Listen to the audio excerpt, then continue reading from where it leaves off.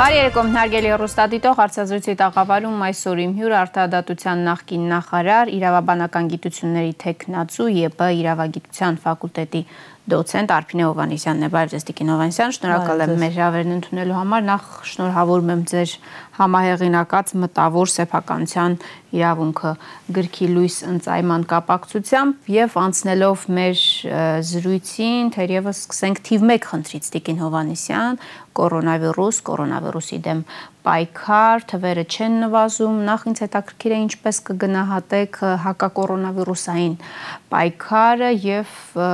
իդեպ այսօր պարոն Փաշինյանը հայտարարեց, որ ինքը իր ընտանիքն էլ է վարակված կորոնավիրուսով եւ թույլ տվեք ասել, որ իր այդ գրառումից անմիջապես հետո նկատելի էր, որ չհավատացողների, այսպես ասած, մի ահռելի կարծես թե բանակ կար։ Ձեր գնահատականը խնդրեմ։ Բարի երեկո, շնորհակալ եմ հրավերի համար, շնորհակալ եմ իդեպ նաև տաղավարում պատշաճ սոցիալական հեռավորության հնարավորության համար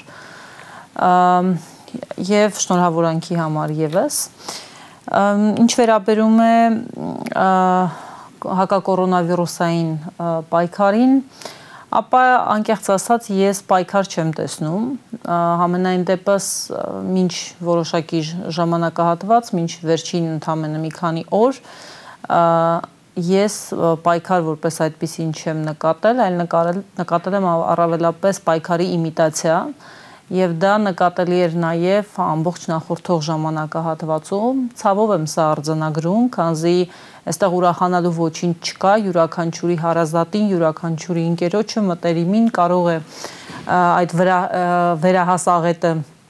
այսպես ասենք վրա հասնել եւ ցավոք սրտի սա կառավարության ձախողված քաղաքականության ձախողված կառավարման արդյունք եւ հետևանք է մենք բազմաթիվ առիթներով, տարբեր առիթներով նշում ենք, որ այս կառավարությունը շատ ոլորտներում ձախողել է, բայց հատկապես կառավարման ոլորտում է ձախողել եւ Գիտեք բանն ինչումն է, հատկապես կորոնավիրուսի հետ կապված։ Ես սխալ կլինեմ եւ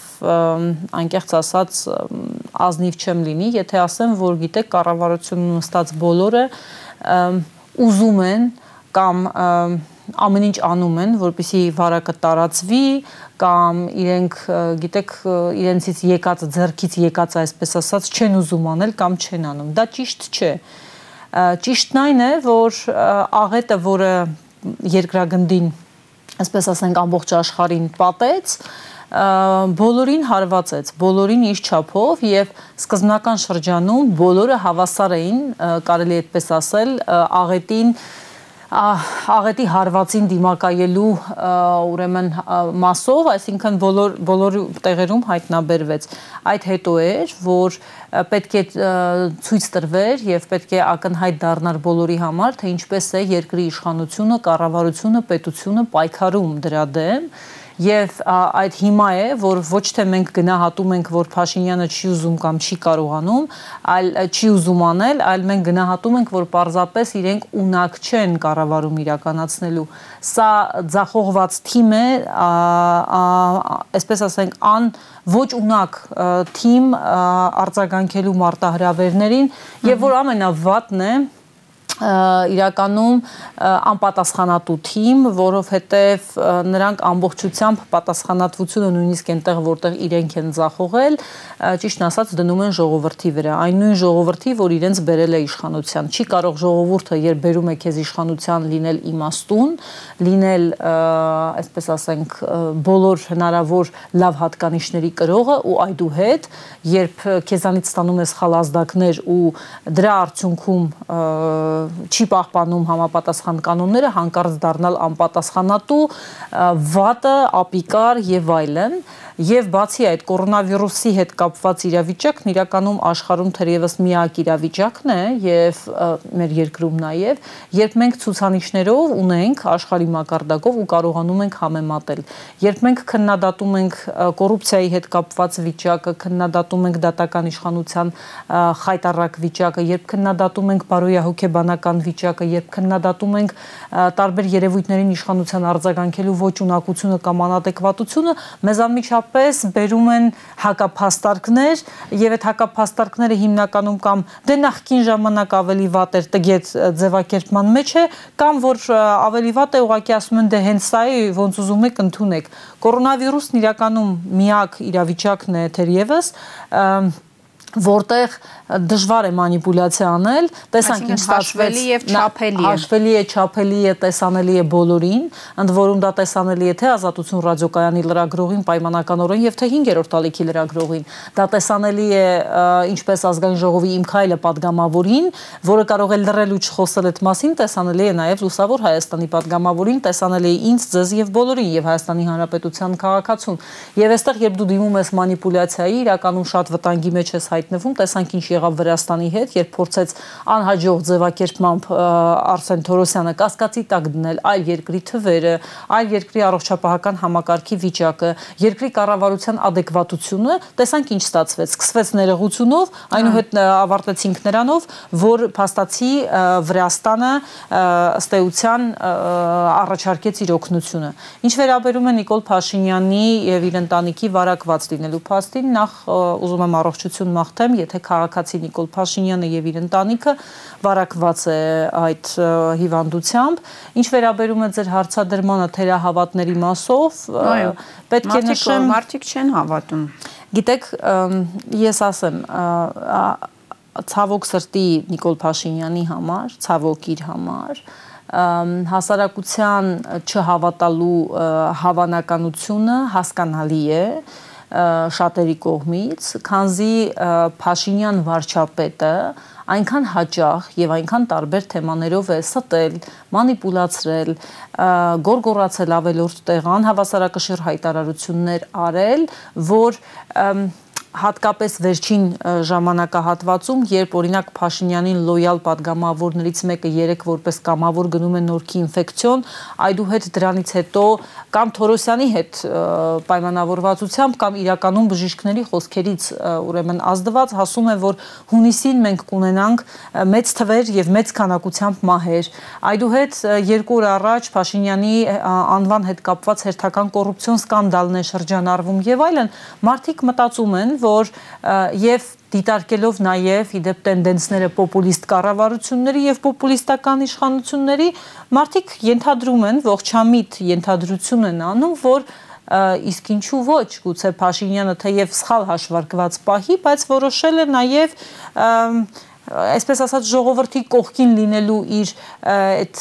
հիվանդագին մղումը ցույց տալ նաև այստեղ ու այսպես ասելով որ դե Փաշինյան վարչապետի ձախողման արդյունքում որպես կառավարիչ կանխել կորոնավիրուսը տուժում է նաև Փաշինյան ընտանիքը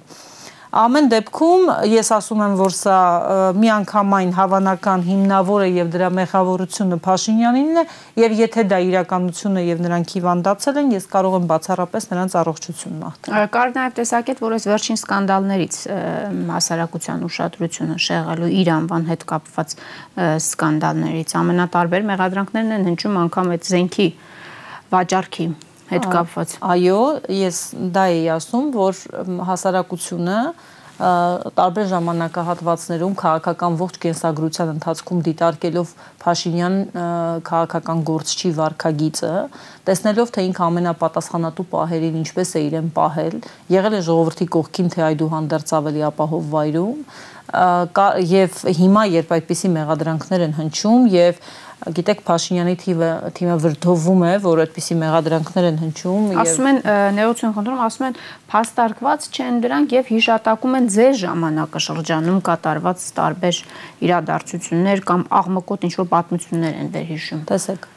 նախ ով ով Փաշինյանը եւ իր շրջապատը իրավունք ունի վրթովվել առհասարակ իրենց հասցեին հնչեցրած որևէ մեղադրանքից։ Հիմա երբ իրենց փաստերով, տվյալներով ամեն դեպքում ինչ որ մեղադրանքներ են հնչում, չեմ ուզում ուզում եմ ավելի ճիշտ հիշեցնել Փաշինյանին, թե ինչ ինքը ինչպիսի հայտարարություններ եւ երկու տարի իշխանության լինելով եւ այդ կապակցությամբ ոչինչ չանելով այս պահին փաստը մեր կապարանոց հայտարարությունները հնչեցրել ամենատարբեր թեմաներով եւ այդ մարդը ինքը իրավունք ունի բողոքել ոչ մի բանից Եթե այդ մեղադրանքները ճիշտ չեն, ապա պարոն Փաշինյանը պարտավոր է ինքը անձամբ եւ ոչ թե իր հարազատների մտերիմների մերձավորների միջոցով փորձի հերքել այլ անձամբ փաստերով եւ փաստը չի փաստ չի այն որ դու ասում ես բալավեր որ նախկինում էսպես էր իսկ դուք ավելի լավ կլինի մտածեք նախկինում ինչ է եղել դա ոչ այլ ինչ է, քան կասկածը խորացնելու ուղիղ ճանապարհ, երբ դու ոչ թե հերքում ես, այլ կարծես թեման փորձում ես շեղել։ Հիմա Փաշինյան վարչապետի շուրթերից հոդաբաշխ հերքում իր հասցեին, իր ընտանիքի հասցեին հնչած հնչեցրած որևէ մեղադրանքի կապակցությամբ չի հնչել եւ հիմնավոր կարող են թվալ եւ տեղ ունեն այնպիսի պնդումները, որ Փաշինյանը այսօրվա հատկապես իր ծննդյան օրով, այսպիսի գիտեք, դրամատիզմը շատ է այս ամենի շուրջ։ Այդ դրամատիզմի նոտան հենց այս ամենից նաև շեղելու համար է։ Տա Աստված ես սխալվեմ, շեղելու առումով, հա, այսպես ասեմ, եւ տա Աստված, եթե Փաշինյան Նիկոլի ընտանիքը եւ ինքը հիվանդ են, ապա առողջանան։ Շատ լավ, Տիկին Հովանեսյան, այսօր ազգային ժողովը ընդունեց համանդրական փոփոխությունների հանրակրվեն չեղարկելու մասին օրենքը, որը ըստ էության լուծում է երկու հարց։ Նախ ազգային ժողովը փաստորեն հնարավորություն է ունենում իր որոշմամբ չեղարկել հանրակրվեն եւ երկրորդ համանդրական դատանի լիազորությունները սահմանափակվում են որքանով է սա օրինական երբ ազգային ժողովը չեղարկում է հանրակրվեն Ես սկսեմ ընդհանուր թերևս իրավիճակը նկարագրելուց բոլորը հիշում ենք, որ իշխանությունները օրեր առաջ տարածեցին հայտարարություն, որ իրենք դիմել են Վենետիկի հանձնաժողով մի քանի հարցերի պատասխան ստանալու համար։ Բոլորին հայտնի է, որ Վենետիկի հանձնաժողովը այդ հարցերի պատասխանը պաշտոնական կերպով պետք է տրամադրի հունիսի 20-ի նիստում հիմա այդ հարցերից երկուսը Վենետիկի հանձնաժողովին 3 հարցեր ուղարկվել, այդ հարցերից երկուսը վերաբերում էին այն ուրեմն թեմային, որի վերաբերյալ այսօր ցավոք սրտի խորհրդարանը քվեարկեց։ Ինչու ցավոք սրտի, որովհետև բացի իրավական հարթությունից, որին ես կանդրադառնամ քիչ անց, կա դրա քաղաքական, բարոյական, գործընկերային, մասնագիտական խոսքը պահելու հարթություններ ինչու եք դիմել Վենետիկի հանձնաժողովին, եթե 24 ժամյա ռեժիմով հունիսի 1-ին քվեարկում եք մի բան, որի պատասխանը դեռ չեք ստացել Վենետիկից։ Իզուք դիմել եք հարգելի իշխանություններ, որպեսզի ձեզ ասեն, կարող եք ազգային ժողովով չեղարկել հանրակրվե թե ոչ։ Ես իմ մեկնաբանությունը կարող եմ տալ հիմնվելով սահմանադրության եւ հանրակրվեի մասին Հայաստանի Հանրապետության սահմանադրական օրենքի վրա։ Այն հանգամանքը, որ ոչ սահմանադրությունը, ոչ հանրակրվեի մասին օրենքը չէ սահմանում հանրակրվեն չեղարկելու հնարավորություն, այլ ասում են, որ եթե արտակարգ դրության պատճառով այն տեղի չի ունեցել, ապա հանգամանքները վերանալուց հետո պետք է համապատասխան ժամկետում տեղի ունենա հանրակրվեն։ Հիմա Եվ մենք ունենք շատ հանդուգն падգամավորների մի ամբողջ բանակ, որոնք ժամը 1 հանրակրվե անցկացնելու մեջ խնդիր չեն տեսնում, ծաղրելով դրանով իսկ ժողովրդին, կարծես նրանք գիտեք, այսպես կոճակ սեղմող են, ինչպես իրենք հիմա էլ իրենք էլ հանրակրվեի այո ասող պտիչկա դնող են, որ ժամը 1 կարող են գնալ ու հանրակրվե անել։ Ազգային ժողովը այդ որոշումը ընդունել է, եւ այս հանրակրվեի որոշումը նշանակելու մասին հանրապետության նախագահ է ստորագրել։ Հիմա ազգային ժողովը ինչպես է պատրաստվում չեղարկել այդ ուրեմն հանրակրվեն, եթե ոչ ազգային ժողովի, խնդրում եմ ֆիքսել սա։ Ոչ ազգային ժողովը, ոչ հանրապետության նախագահը սահմանադրությամբ եւ այլ օրենքներով իրենց տրված լիազորությունների մեջ չունեն հանրակրվե չեղարկելու իրավունք։ Սա ակնհայտ հակասահմանադրական է։ Սա մեկ Եվ սա նաև հակատրամաբանական է, քանզի նշանակում է, որ ցանկացած պահի ցանկացած իշխանություն նշանակելով հանրակրվե, այնուհետ հաշվարկելով իր հնարավորությունները հանրակրվեի հնարավոր պարտության հարցում կարող է չեղարկել այդ հանրակրվեն։ Եվ մենք ակնհայտ տեսնում ենք, որ կորոնավիրուսի ապիկար քաղաքականության հակակորոնավիրուսային պայքարի ապիկար քաղաքականության կառավարման վատ որակի պատճառով ժողովուրդը այնքան ակնառու տեսել է այն, ինչի համար գուցե պահանջվեին տարիներ, հիմա ամիսների ընթացքում եւ այդ հանրակրվեի ժամանակ ժողովուրդը հաստատ իր գրպանում չեղած գումարը ավելի պակաս կարևոր չէր համարելու, քան գնալ եւ ինչ որ կեղծ օրակարգով սահմանադրական ճգնաժամ հանգուցալուծել։ Նրանք գիտեին, որ չեն հավաքելու, դրա համար են չեղարկում։ Երկրորդ հարցի հետ կապված։ Այսինքն հս հստակ հակասահմանադրական է այս process-ը։ Միանշանակ, այո։ Միանշանակ։ Երկրորդ հարցի հետ կապված նրանք Վենետիկի հանձնաժողովից կարծիք էին ակնկալել նաև այն հարցում, որ եթե այս ազգային ժողովը ուզում է լուծել այսպես կոչված ճգնաժամը սահմանադրական,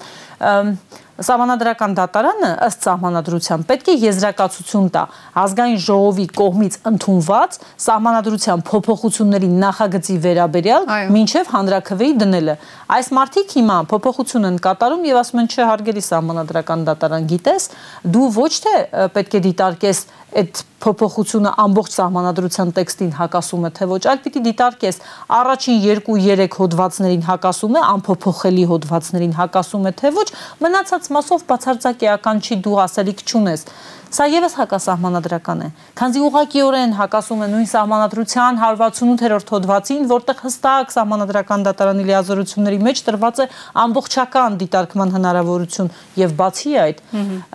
մենք կարող ենք հանգել մի իրավիճակի, երբ փաստորեն երկրում սահմանադրական արդարադատություն չի իրականացվի այն մասով, որտեղ բերված փոփոխության նախագիծը կհակասի սահմանադրության առաջին 3 եւ 203 հոդվածներից բացի այլ հոդվածի ինչ ուզեն կարող են անել իրար հակասություններ առաջանա տեքստի մեջ հակասություններ կլինեն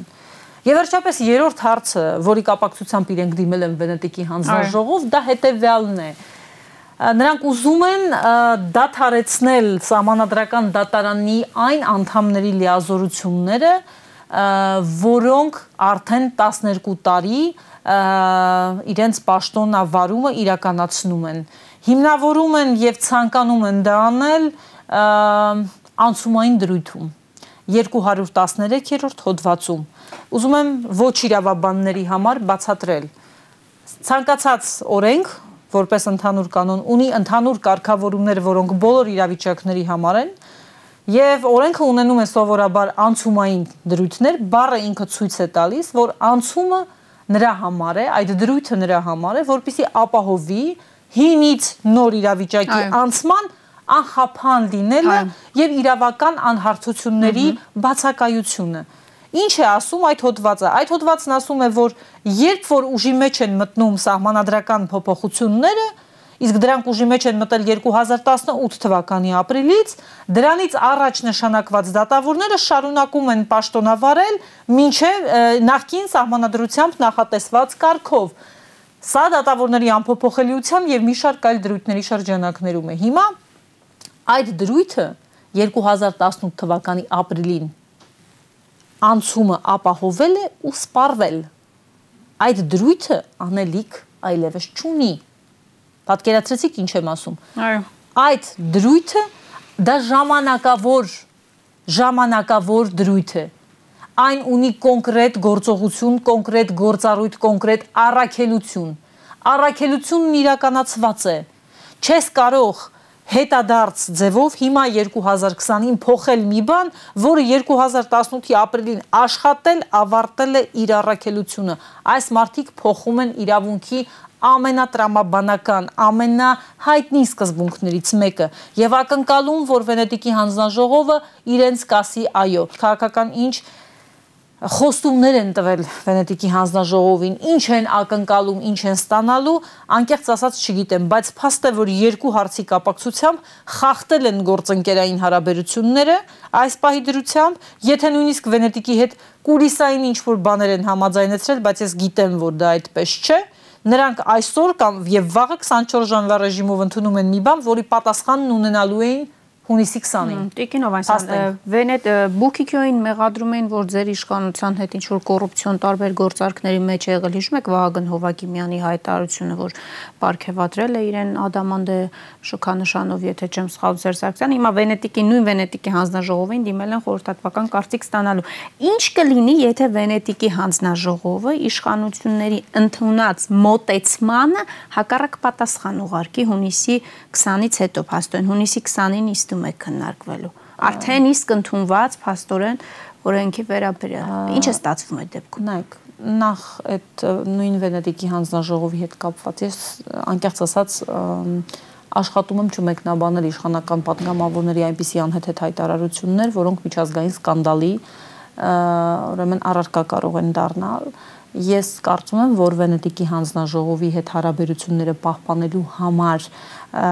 կոչված պետական ներպետական իրավասու մարմինները այս հարցի պատասխանը Բուկիկյոին տվել են, իսկ եթե չեն տվել, ապա գոնե ամաչել են, իսկ եթե չեն ամաչել, ապա այն հանգամանքը միայն, որ իրենք դիմել են Վենետիկի հանձնաժողով կարծիք ստանալու համար, շատ բանի մասին է խոսում, իրենց բարերի, իրենց անպատասխանատվության, իրենց խոսքի նկատմամբ անհարգալից վերաբերմունքի մասին։ Իրենք իրենց խոսքը չեն հարգում, ես ինչ եք ուզում որ մեկնաբանեմ։ Սա առաջին դրվագը։ Երկրորդի հետ կապված ասում եք Վենետիկի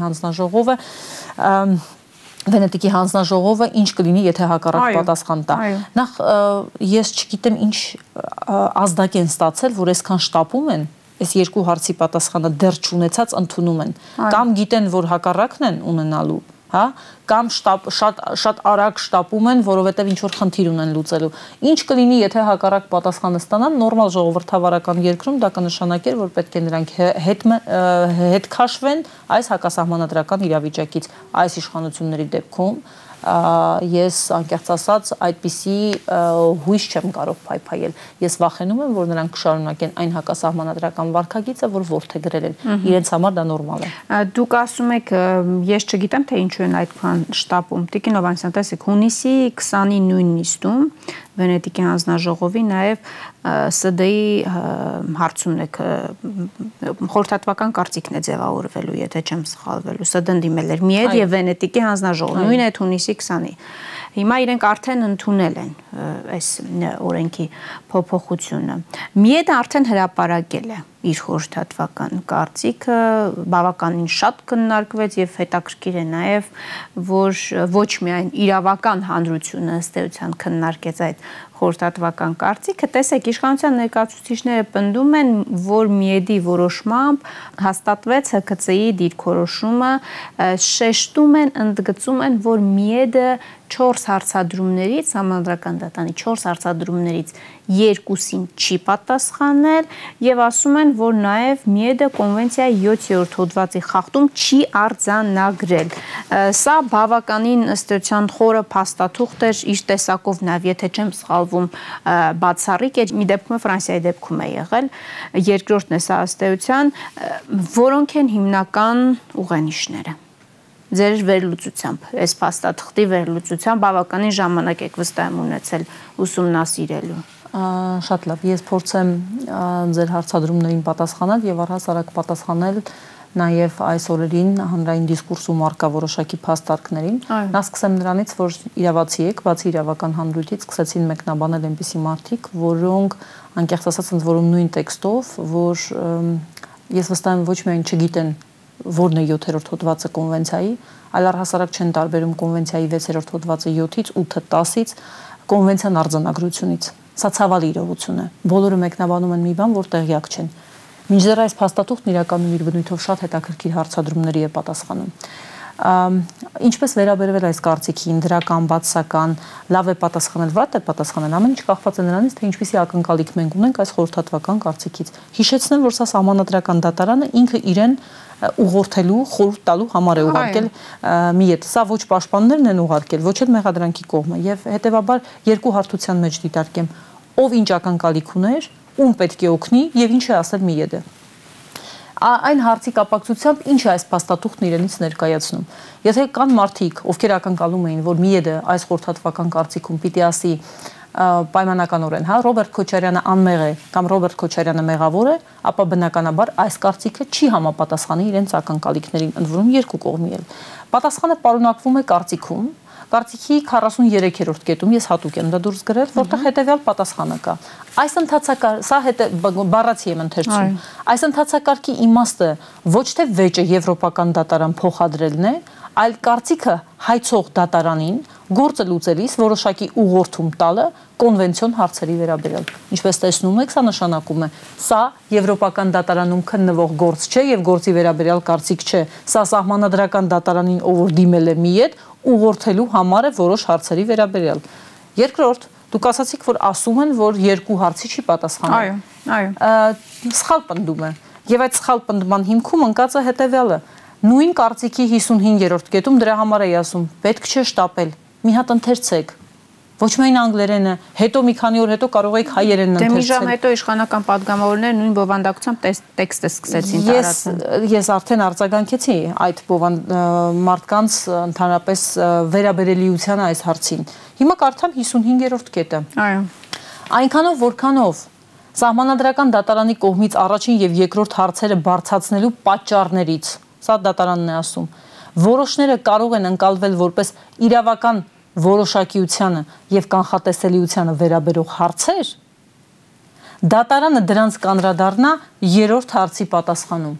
Դատարանը առաջին եւ երկրորդ հարցերին ոչ թե առհասարակ չի պատասխանել։ Դատարանը առաջին եւ երկրորդ հարցերի այն հատվածին, որը վստահ եմ, սա իմ գնահատականն է, որը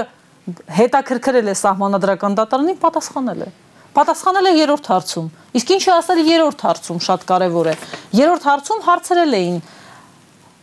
նորմալ է ժողովրդի, այսպես ասած, համար հասկանալի ձևով եմ ձևակերպում։ Սահմանադրական դատարանը հարցեր տվել։ Նորմալ է, որ 300.1 հոդվածում, այսինքն սահմանադրական կարգի տապալման հոդվածում գրված է. Սահմանադրական կարգը տապալելը բութ Սահմանադրության 1-ից 5-րդ հոդվածների գործողությունը դադարեցնելու միջոցով նորմալ է, որ քրեական օրենսգիրքը հղում է տալիս սահմանադրությանը։ Դատարանն ասել է հետեւյալ այդ, որ ասում են 7-րդ հոդվածի խախտում չի հայտնաբերել, ախրելի կարդացեք։ Այնտեղ գրած է միայն այն փաստը,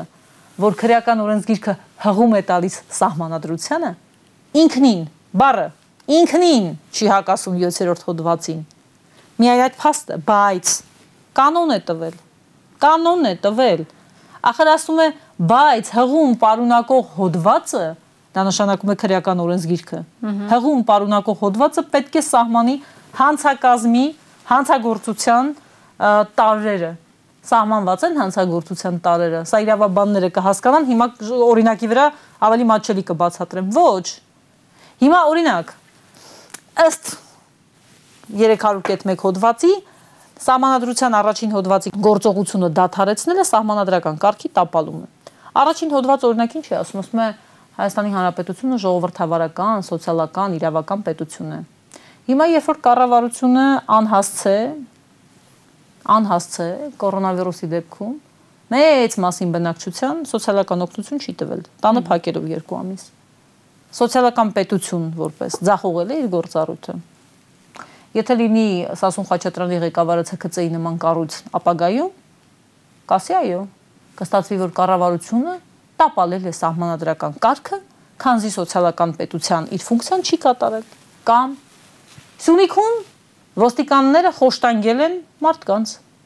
սահմանադրության երրորդ հոդվածը հրճակում է մարդու բարձրագույն արժեք լինելու նրա արժանապատվության ոտնահարման անթույլատրելիության հարցը ոստիկանները սահմանադրական կարգ են տապալել խոշտանգելով մարդկանց, որովհետև դադարեցրել են երրորդ հոդվածի դե ֆակտո գործողությունը։ Ես հարցեր եմ տալիս, որոնք ես իմ ներսում ունեմ դրանց պատասխանը։ Բայց ուզում եմ ասել, որոշակի է, թե ոչ։ Միայն եմ փաստը, որ կա վեճ, որ կա վեճ, առաջատար իրավաբանների ինձ չի հետաքրքրում ոչ իրավաբանների ներողություն եմ խնդրում տվյալ դեպքում կարծիքը, առաջատար իրավաբանների երկրի ներսում խոսք ունեցող, կշիռ ունեցող իրավաբանների մեջ մեկնաբանության հարցում նշանակում է ոչ որոշակի է։ Բայց Եվրոպական դատարանը տվել է ստանդարտ։ Ասում է սահմանադրական դատարան, այ ես ստանդարտով կորոշես։ Լավ, Չորրորդ հարցի պատասխանը հետադարձ ուժի հետ կապված։ Հղումներ է տվել 300.1-ին։ Ախր նորից սխալ մեկնաբանություն։ Սա մարդու իրավունքների եվրոպական դատարանը չի ասել է, որ հետադարձ ուժ վաթարացնող օրենքը վատ ավելի վատ պայման սահմանող օրենքը հետադարձ ուժ չունի։ Դա բոլորս գիտենք, դա ակնհայտ ճշմարտություն է, դա անգամ ՀԿՑ-ն գիտի։ Դա անգամ դատախազությունը գիտի, հա։ Սահմանադրական դատարանը ուրիշ հարց էր տվել։ Ասել էր հարգելի մարդու իրավունքների եվրոպական դատարան, դու ինչ կանոն ունես, որ ես որպես ՍԴ կարողանամ համեմատեմ ու հասկանամ 300-ն ավելի ծանր թե այս նորը 300.1-ը, որը 2009-ին է ընդունվել։ Եվրոպական դատարանը պատասխանում է. Իմ նախադեպերում, հարգելի սահմանադրական դատարան, ես շատ կոնկրետ հստակ չափանիշներ չունեմ, բայց ձեր կոնկրետ դեպքի համար այս գործերը անունները չտամ թեև իմ մոտ կան, հա, օրինակ Մակտուֆ Դամյանովիչն ընդդեմ Բոսնիա Հերցոգովինայի գործում ես սահմանել եմ, որ կոնկրետիզացիայի սկզբունքը պետք է լինի կոնկրետիզացիայի սկզբունքն էլ կոնկրետ գործի հանգամանքները պետք է հաշվի առնեն։ ու ներպետական դատական պրակտիկան։ Իսկ ինչ է ասում ներպետական դատական պրակտիկան։ 7-ի գործը։ Այո։ 7-ի գործով ներպետական դատական պրակտիկան կոնկրետ այս հարցի հետ կապված 301 հոդվածի մասով ականջկանչի Լիլիթ Թադևոսյանի Վճռաբեկ դատարանի քրեական գործերով պալատի նախագահ, որ այն ժամանակ մեղադրող դատախազներ հենց այդպես են մեկնաբանել, որ 301-ն ավելի խիստ է, քան նախկին 300-ը։ Հետևաբար հետադարձ ուժի հետ կապված հարցի պատասխանը པարզ է։ Ես հասկանում եմ, որ անցյալ օրը տեսա, չեմ հիշում, որ լրատվամիջոցներ կամ ազատությունը կամ նրանց լրագրողներից մեկը հարց է տալիս, ասում է, ինչպես կարող է նախկինում ոչ ժողովրդավարական երկրում քաղբանտարկյալներ այսպիսի ձևակերպումներ են տալիս։ Ախր հարգելիներս, դա ձեր կարծիքն է։ Ոչ մի միջազգային փաստաթղթում այդ ձեր ասացները ոչ ժողովրդավարական քաղբանտարկյալ չգիտեմ ինչ ֆիքսած չեն։ Փաստը մնում է փաստ։ Եվրոպ ներպետական օրենսդրությունում կա այդ մի դեպքը։ Եվրոպական դատարանը այս կարծիքը որ տվեց, մի մոռացեք, չէ՞ որ այդ գործի վերաբերյալ բուն գործը քննվում է եվրոպական դատարանում։ Այս կարծիքը իրենց համարել է, այսպես ասենք, կանխորոշող դեր ունենալու։ Ինչ որ այստեղ գրված է, իրենք սրանով կառաջնորդվեն նաև որոշումը կայացնելիս ու այդ փաստերը հաշվի առնելով։ Երբ որ անընդհատ խոսում են այն մասին, որ նախկինում էսպես, նախկինում այնպես, ու դա անում են կոնկրետ երկրներից, կոնկրետ բյուջեներից ֆինանսավորողները, իմ մոտ անկեղծ ասած կոգնիտիվ դիսոնանս է առաջանում։ Ու գիտեք ինչի, որովհետև դուք ուզում եք ասեք, որ ձեզ ֆինանսավորող երկրները ոչ ժողովրդավարական քաղբանտարկյալներ ունեցող մի խայտարակ երկրի հետ են շփվել, նրանց նախագահները, նրանց վարչապետները։ Մի գոնե նրանց մասին մտածել եք։ Եվրոպացի պաշտոնյաներից հարցրել եք, իրենք այդպես են մտածում։ Ահա Էնպես որ ամփոփելով այս ամբողջը։ Այո, եւ նաեւ դատախազություն արձագանքեց սրան Տիկին Հովանեսյան։ Ես դատախազության փոխարեն անտարակույս ողջամտություն կդրսևորեի եւ այս հարցին չէի անկեղծ ասած անդրադառնա, այն էլ գեղարվեստականացված լիրիկական ոճով, եթե իհարկե պարոն Փաշինյանը չէր ասել դատախազին արձագանքել։ Անկեղծորեն չէի ուզենա, որ իրենք արձագանքեն, իրենց կարծիքը այսպես թե այնպես իրենց կողմից պաշտպանվող մեղադրանքում հանրահայտ է։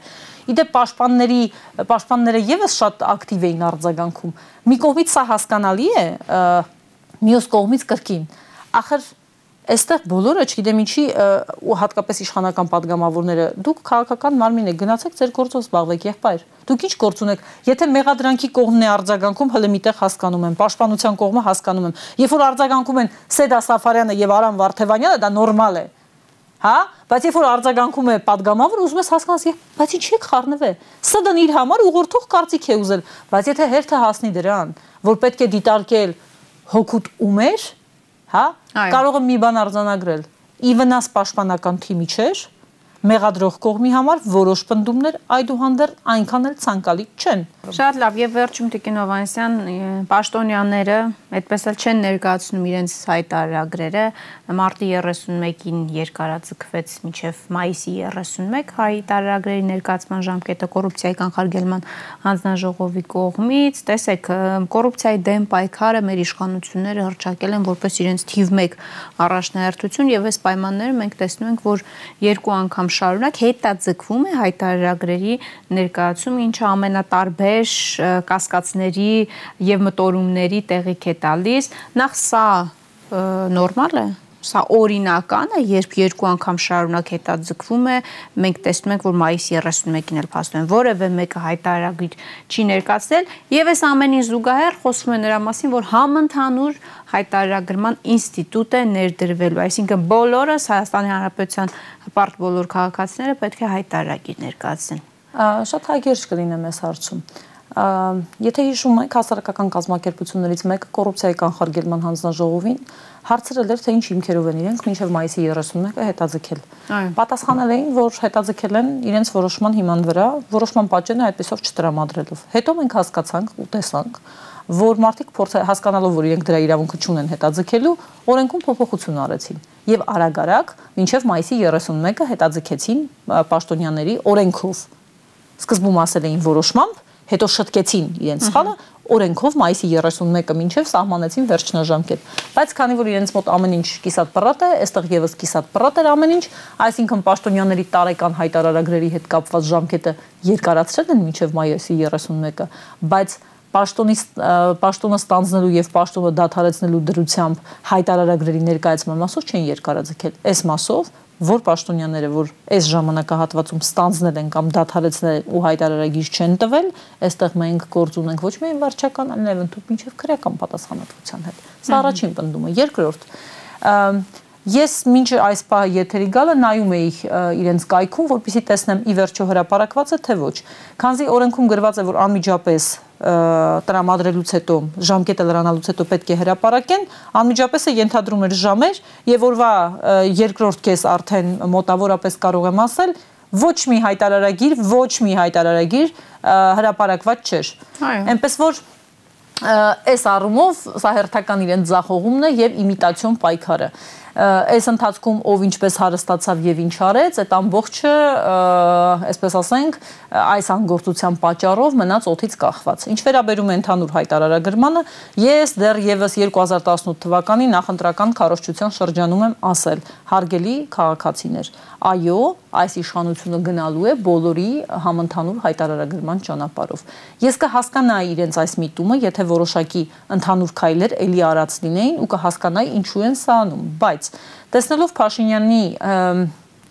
ուրիշի փողերը հաշվելու անհագուրդ մղումը հասկանալի է դառնում ինչ նպատակ է սա հետապնդելու։ Մարդկանց ասելու են գրեք հայտարարագրեք դուք ումից ինչ տրանսֆերտ եք ստացել ձեր բարեկամները որոնք դրսում ապրում են կամ ձեր ամուսինները ովքեր գնացել են դրսում աշխատելու, այնտեղ մի հարկ են վճարում, հա, կամ իրենց գումարից պահում են, որ այնտեղ հարկ վճարեն իրենց գործատուները։ Մի հատ էլ այստեղ Այս պետք է այստեղ գրեք, ինչ եք դուք ինչքան գումար ունեք։ Սա երկու նպատակ կարող է ունենալ պետության կողմից։ Առաջին եւ մոտակա նպատակը այն է, որ տեսնելով քաղաքացիների իրական եկամուտը շատ շատերին կզրկեն նպաստներից եւ սոցիալական աջակցության ծրագրերից, տեսնելով որ իրականում նրանք օրինակ, չգիտեմ, 100.000 դրամ կամ 50.000 դրամ ամսական գումար են ստանում դրսից, նրանք սոցիալական աջակցության նպաստ, փարոշ, չգիտեմ, այդ բոլոր ծրագրերից նրանց կհանեն։ Սա առաջնային նպատակն է եւ երկրորդ նպատակը պետության հարկումը կսկսեն այդուհետև քաղաքացիների ուրեմն եկամուտները հարկել։ Սա կարծում եմ մի փոքր ավելի ուշ նպատակ է, բայց երկրորդ նպատակը սա է։ Առաջին երկրորդ նպատակները որքանով է սա բարոյական։ Որքանով է սա որ իրենք հայտարարիչ չեն ներկայացնում, բայց արդեն ակտիվորեն խոսում են այս համընդհանուր Ագնեսա ջան, ես դա եմ ասում։ Որքանով է դա բարոյական, որքանով է դա նորմալ, որքանով է այս իշխանությունների ու գիտեք ժողովրդի վարչապետին ու ժողովրդի իշխանությանը հարիր պետք է Հայաստանի Հանրապետության յուրաքանչյուր քաղաքացի դատի։ Ի տարբերություն իրենց ես ժողովրդի անունից խոսելու ոչ ցանկություն, ոչ նպատակ եւ ոչ էլ համարում եմ adekvat մարդը այդպիսի բաներ կանի։ Ժողովրդի անունից պետք չի խոսալ, ամեն մեկը պետք է իր համար հետևություն անի։ Շատ լավ եւ վերջում մեր ժամանակը սպառվել է այդուանդերց անդրադառնանք իշխանությունները 91-2018 թվականների ընթացքում Հայաստանում մարդու իրավունքների զանգվածային եւ պարբերական խախտումների դեպքերն ուսումնասիրող փաստահավաք հանձնաժողով են ցանկանում ստեղծել իդրաֆտում է արդեն այն ինձ հետաքրքիր արդեն հասցրել եք ուսումնասիրել նախագիծը ձեր գնահատականը այո հասցրել եմ նախագիծն ուսումնասիրել անկեղծ ասած ես ինձ արդեն վատ եմ զգում հերթական յուրաքանչյուր նախագիծ, որ ներկայացնում է իշխանությունը, հիմա մարդիկ այդ կողքից նայենք, ասեն, այս աղջիկը կամ այս մարդիկ երբ գալիս են, ինչ որ մի վատ բան պիտի ասեն նախագծերի վերաբերյալ։ Բայց անկեղծ ասած, ես ես իրոք մեծ ցանկություն ունեմ ինչ որ մի բանի վերաբերյալ դրական բան ասելու, բայց այս նախագիծը նույնիսկ իրենց համար, նույնիսկ իրենց համար շեդևրալ է հակասահմանադրական հերթական կարգավորումները պարունակող, բայց երկու դիտարկում։ Քաղաքական առումով սա Նիկոլ Փաշինյանի կողմից իշխանապողության բաժնետերերին մատուցվող հերթական турքն է։ Եթե ավելի པարզ ասեմ հանրության մեջ ավելի հայտնի տերմինոլոգիայով, սա Սորոսի ամբիցիաների բավարարման նախագիծ է, եւ բոլոր նրանց, ովքեր դեռ չէին հասցրել հանրային սեկտորում կամ պաշտոնական սեկտորում մի պաշտոն զբաղեցնել, այդ պաշտոնը տալու հնարավորություն։ Երկրորդը այս նախագծով փաստացի ամրագրվում է հրեշտակապետությունը 2018 թվականի ապրիլից հետո, այսինքն շատ տարբեր ձևակերպումներ են մինչ այս պահը եղել՝ կակիստոկրատիա, վատթարագույնների իշխանություն, ընտանիքապետություն, չգիտեմ, ապիկարների կառավարություն, էլ էլ ապաշնոր պետական կառավարում եւ այլն շատ տարբեր ձևակերպումներ են տրվել, որոնցից որոշները եթերային չեն անգամ, բայց ես սա կանվանեի հրեշտակապետություն, քանզի նրանք գրել են, որ ուսումնասիրելու են 91 թվականից մինչև 2018 թվականի ապրիլ տեղի ունեցած մարդու իրավունքների զանգվածային խախտումներ, սեփականության իրավունքի խախտումներ, ոչ մարտական պայմաններում զինվորների մահ, հանրակրվեններ, ընտրություններ եւ այլն տպավորություն է, որ 2018-ի ապրիլից հետո Հայաստանում իշխանության եկել են հրեշտակները, սուրբերը, որտեղ բոլորի ոդքերն ամպոտ են, այլևս Հայաստանում չկա ոչ մի խախտում եւ նրանք պետք է հիմա միայն այսպես հերվից հայացք նետեն եւ ասեն, որ այն ժամանակ վատ էր։ Իսկ եթե լուրջ այս ամենը, սա անցումային արդարադատության անցումային արդարադատության մոդելի իրականացման կրկին այլասերված գաղափարն է։ Ցավում եմ, որ արդարադատության նախարարության հայտի հիմնադրամն է մշակել, ցավում եմ, որ փորձել են արդարության կամ ճշմարտության հանձնաժողովի անվան տակ ստեղծել այս հանձնաժողովը։ Ցավում եմ, որ Արգենտինայի անհայտ կորածների հանձնաժողովը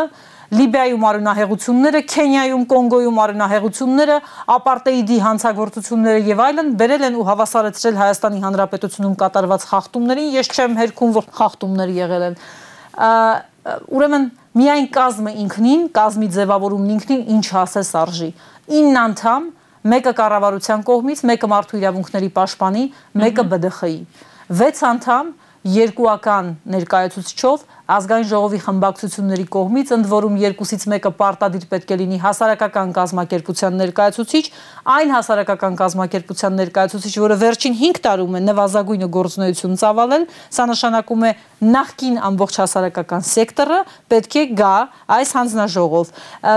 Թերևս զարմանալի չէ ինչու որոշ Սորոսի հիմնադրամի կողմից ֆինանսավորվող առանձին անհատներ ու կազմակերպություններ երբեմն երբեմն փորձում են քննադատել հայրենի կառավարությանը քանզի նրանք պետք է հավակնեն այս պաշտոնին այսինքն 3 հոգի միայն հասարակական կազմակերպություններից է լինելու մեկը իմ քայլականներից կրկին, մյուսը կառավարությունից։ Հանձնաժողովում կառավարությունը կրկին ունենալու է մեծամասնություն, ամենածիծաղելին, որ գրված է, որ պետք է քաղաքական զսպվածություն եւ չեզոքություն պահպանեն։ Բյուջեից հերթական անգամ 9 հոկանոց հանձնաժողով աշխատակազմով, ծառայողական մեքենաներով, պետական բյուջեից։ Այո, հսկայական գումարներ են հատկացնելու այս հանձնաժողովի գործունեության համար, որpիսի գիտեք ինչ անեն, որ նստեն ուսումնասիրեն ինչ է եղել նախկինում իրենց կարծիքով։ Ընդ որում խայտարակ իրա, իրավական հետևանքները։ Նայեք, իրավական հետևանքները առաջին հայացքից թվում է հետևյալն է։ Իրենք պետք է փաստերը ուսումնասի հավաքեն ու ներկայացնեն վարչապետին, վարչապետը որոշի ինչ անել, բայց ֆունկցիոնալ առումով Սա Հայաստանի Հանրապետությունում գործող բոլոր քնչական ու իրավապահ մարմիններից ավելի բարձր ֆունկցիաներ ունի։ Ունի նրանց բոլոր իրավունքները, բայց չունի պարտականություններ։ Օրինակ, ասում է, որ եթե դու հրաժարվես վկայություն տալ այս հանձնաժողովին, քրեական պատասխանատվության կա ենթարկվես։ Քրեական պատասխան։ Քրեական։ Եթե նրանք ուզենան գալ քո տուն, եւ դու տուն չթողես նրանց վկայություն տալու համար, դու քրեական պատասխանատվության կենթարկվես։ Նրանք կարող են ԱԱԾ-ին, ՀԿՑ-ին, դատախազությանը, քնչական կոմիտեին եւ մյուսներին պահանջել ուշադրություն դարձրեք, պահանջել պարզաբանումներ, պահանջել, որ նրանք հետազոտություն անեն, պահանջել լրացուցիչ բացատրություն տալ այդ պարզաբանումների վերաբերյալ։ Ոչ մի իրավասու մարմին Հայաստանում իրավապահ չունի այդ լիազորությունները, բայց նրանք ունեն։ Եվ ինչ են անելու, ասում են պետք է նպաստեն այդ խախտումների վերականգնմանը։ Մի առիթով ասել եմ դեռ շատ վաղուց, երբ որ սա դեռևս գաղափար էր, գիտեք, Վազգեն Մանուկյանի իրավունքների խախտումը 96 թվականի ընտրությունների ժամանակ, իսկ սա ֆիքսված է իրենց օրենքում, փաստել է անգամ ժողովրդի վարչապետ Փաշինյան Նիկոլը։ Հիմա որ փաստեցիք, որ 96-ին խայտարակ ընտրախախտումներ են եղել եւ իրականում հանրապետության նախագահ ընտրված է եղել Վազգեն Մանուկյանը, ինչ է կանելու։ Վարչապետի պաշտոնը վերադարձնեն Չէ, աբսուրդը, ինչ էի ուզում ասել այս ամբողջով։ Ոչ թե դեմ եմ, ոչ թե կողմ եմ, ցավ եմ ապրում որովհետև սա հերթական անգամ ժողովրդի խնդիրներից շեղվելու, ժողովրդի ուշադրությունը շեղելու բյուջեից անիմաստ փող վատնելու հերթական նախագիծն է անիմաստ, նորից եմ կրկնում, անիմաստ եւ ընդհանրապես, որովհետեւ Փաշինյան Նիկոլը իշխանապողության ժամանակ տարբեր խմբավորումների եւ բաժնետերերի խոստացել էր իրենց բաժինը։ Սա էլ նրանց բաժինն է։ Փաշինյանին կից է լինելու վարչապետին կից հանձնաժողովը ոչ սա ստեղծում են որպես սահմանադրության 122-րդ հոդվածի ուժով ինքնավար մարմին։ Օրինակ, ինչպես տնտեսական հաշվետվություն որևէ մեկին չեն ներկայացնելու։ Ներկայացնելու են, ներկայացնելու են, բայց եթե դուք տեսնեք նրանց իրավունքները եւ պարտականությունների մեղմ ասած բացակայությունը, ապա կհասկանաք ինչ է կատարվում։ Ոչ քննիչ հանձնաժողովը, ոչ ԱԱՑ-ն, ոչ ՀԿՑ-ն, ոչ մեկ չունի նման լիազորությունների ծավալ եւ հակասահմանադրական դրույթների կույտ, ինչպես այս հանձնաժողովը։ Ընդ որում նորից եմ կրկնում, ոչ մի բանի համար։ Եվ եւ ամենակարևորը, երբ որ անցում այն արդարադատության գաղափարը, ճշմարտության կամ արդարության հանձնաժողովները ստեղծվել են այդ երկրներում, նրանք կարել են իրականում հանրությանը հաշտեցնելու նպատակով։ Իրենք ստեղծել են հակամարտող, հակադիր կողմերին իրար մոտեցնելու համար։ Կարդացեք այս օրենքը, ես չեմ ալարում, իրականում կարդում եմ։ Կարդացեք այս օրենքը ու տեսեք Սա հերթական անգամ ընդամենը գիտեք հանրությանը բևեռացնելու, էլի սև ու սպիտակ, էլի անիմաստ մեղադրանքներ, էլի գորգորոցներ, էլի այդ այդ անհասկանալի վիճակը, այ դրա համար է այս օրենքը ոչ մի հաշտեցման, բարության, այդպիսի տար, ինչպիսին սովորաբար ակնկալվում է, որ պիտի լինի։ Միջազգային պրակտիկայում։ Միջազգային պրակտիկայում չկա։ Շատ լավ, շնորհակալ եմ զրույցի համար։ Արցազրույցի տաղավարում իմ հյուր արտադատության նախկին նախարար ԵՊ իրավագիտության ֆակուլտետի դոցենտ Արփինե Հովանիսյանն էր։ Ամուր եղեք, հանդիպենք վաղը։